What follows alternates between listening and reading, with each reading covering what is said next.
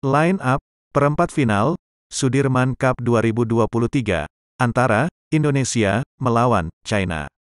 Hari Jumat, 11 Mei 2023.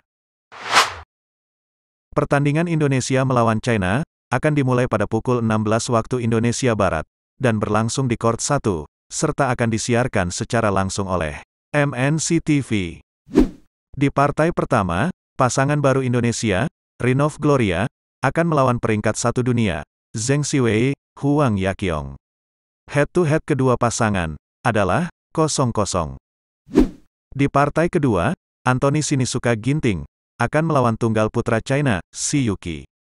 Head-to-head kedua pemain, adalah, 1-7. Di partai ketiga, Gregoria Mariska Tunjung, akan melawan tunggal putri China, Chen Yufei. Head-to-head kedua pemain, adalah, 2-6. Di partai keempat, Fajar Rian, akan melawan ganda putra China, Liang Weikeng, Wang Chang. Head-to-head kedua pasangan, adalah, 2-1.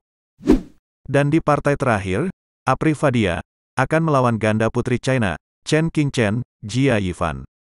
Head-to-head kedua pasangan, adalah, 1-4.